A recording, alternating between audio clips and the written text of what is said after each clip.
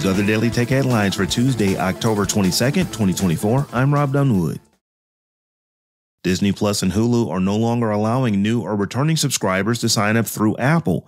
Users who try to subscribe through the iOS apps for each service receive a message stating that in-app sign up is no longer supported and are directed to finish setting up their account via the web. These changes presumably are to avoid the 30% fee Apple charges for subscriptions through the App Store. Existing users who signed up through the App Store will continue to be billed via Apple. Qualcomm has officially unveiled its next generation Snapdragon 8 Elite smartphone processor, which sports a 45% performance boost compared to its Snapdragon 8 Gen 3 predecessor. The Snapdragon 8 Elite employs TSMC's 3 nanometer N3E architecture and is said to be up to 44% more efficient than the Gen 3. The Adreno 830 GPU is 40% faster and more power efficient than last year's Adreno 750, allowing for gaming sessions that last two and a half hours longer. We can expect to see the Snapdragon 8 Elite and a host of flagship phones from OEMs including Asus, Honor, iQOO, OnePlus, Oppo, Realme, Samsung, Vivo, and Xiaomi. Despite high profile gaming executive hires from franchises like Halo, Overwatch, and God of War, Netflix is closing its AAA gaming studio, also known as Team Blue. Netflix got into gaming in 2017 and is best known for its indie and mobile titles, which can be accessed through Netflix's app and played directly on your device. AAA's multi-platform games were much more ambitious and risky and just didn't seem to match up with Netflix's overall streaming strategy.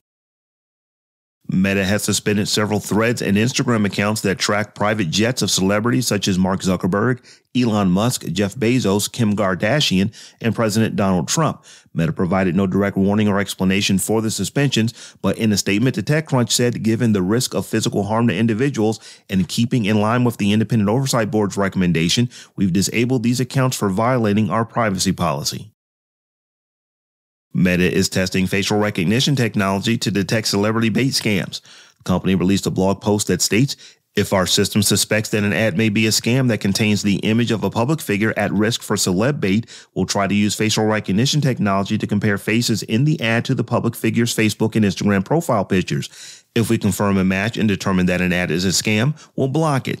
We immediately delete any facial recognition data generated from ads for this one time comparison, regardless of whether our system finds a match, and we don't use it for any other purpose.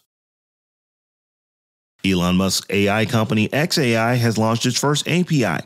The single model Grok beta is priced at $5 per million input tokens or 750,000 words or $15 per million output tokens. It's unclear which Grok model Grok beta might be. Grok 2 is the very latest on X. The documentation for the API refers to Grok 2 and Grok Mini, a lightweight, more affordable version of Grok.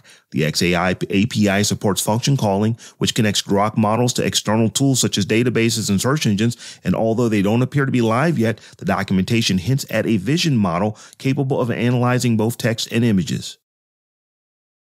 Meta smart glasses are outselling traditional sunglasses in many stores in Europe, even though the company has not yet rolled out multimodal AI features to the bloc, citing lack of clarity from the regulators in the EU. The Ray-Ban Meta smart glasses are the top selling product in over 60% of all Ray-Ban stores in Europe, and similar results are seen in the Middle East and Eastern Africa. Ray-Ban Meta glasses are proving to be a larger success than Meta originally expected. That early traction may have been the factor in Meta expanding its partnership with Essilor Luxottica into the next decade. And finally, WhatsApp announced a new feature that will allow users to save contact information directly within the app. WhatsApp currently relies on your phone's contact book to sync contacts that are using the app. The new feature will let you store contacts on any device, including WhatsApp for the web and Windows. Users will also be able to save contacts by username. The company said in a blog post that usernames on WhatsApp will add an extra degree of privacy so that you don't need to share your phone number when messaging someone. For more discussion of the tech news of the day, subscribe to dailytechnewsshow.com. And if you enjoy the show, remember to tell a friend and check us out. Thanks for listening. We'll talk to you next time.